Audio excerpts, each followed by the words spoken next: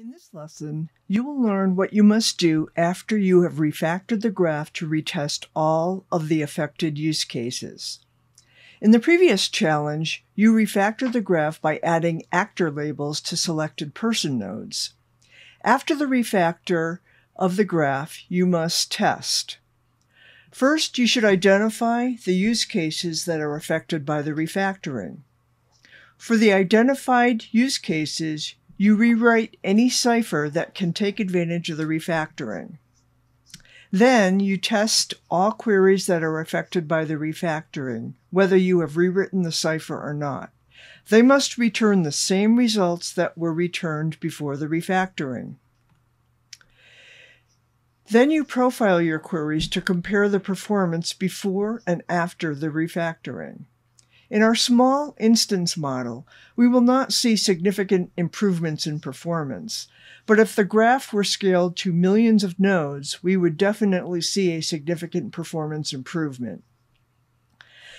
So here is our first use case that is affected by the addition of the actor label to the graph. Our original query specifies the person label, and we rewrite the query to use the actor label.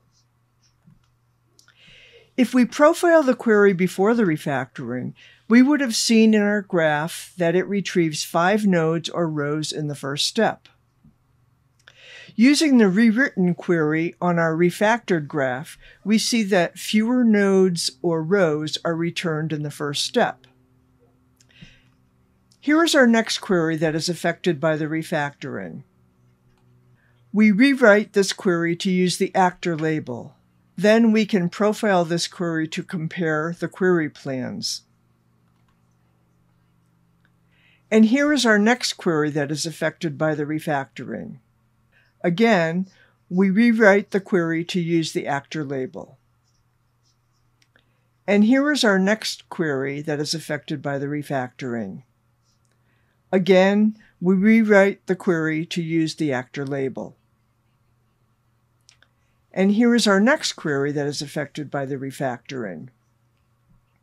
Again, we rewrite the query to use the actor label. And here is our final query that is affected by the refactoring. Again, we rewrite the query to use the actor label. For all of the queries affected by the refactoring, you must execute them and ensure that they return the same results as they did prior to the refactoring and rewriting of the Cypher code.